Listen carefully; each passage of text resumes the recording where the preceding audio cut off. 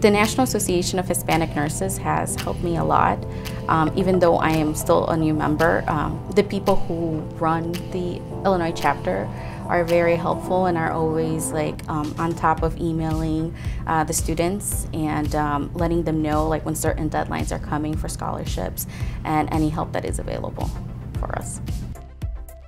The National Association of Hispanic Nurses have helped me with pushing me in the nursing career and also just helping me out whenever I need help with um, homework because there's also different types of people that go to the organization that are already in the nursing career.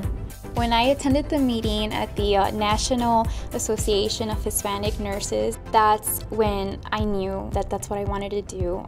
They literally empowered me to believe in myself. I remember the first day so vividly.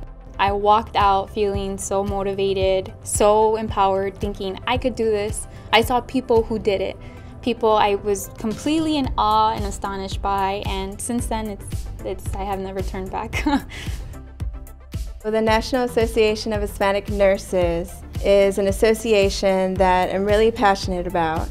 They work with the community on promoting nursing and on promoting education and teaching people from the Hispanic community about taking care of themselves.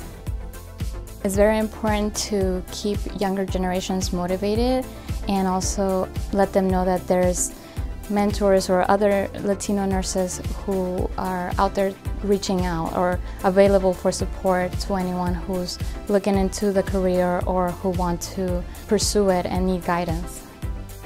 I completely knew I could do it. They pushed me, motivated me, and throughout my entire nursing undergraduate career, that's what they've done. They've been my supporters, they've been my role models, and I'm here today because of that. So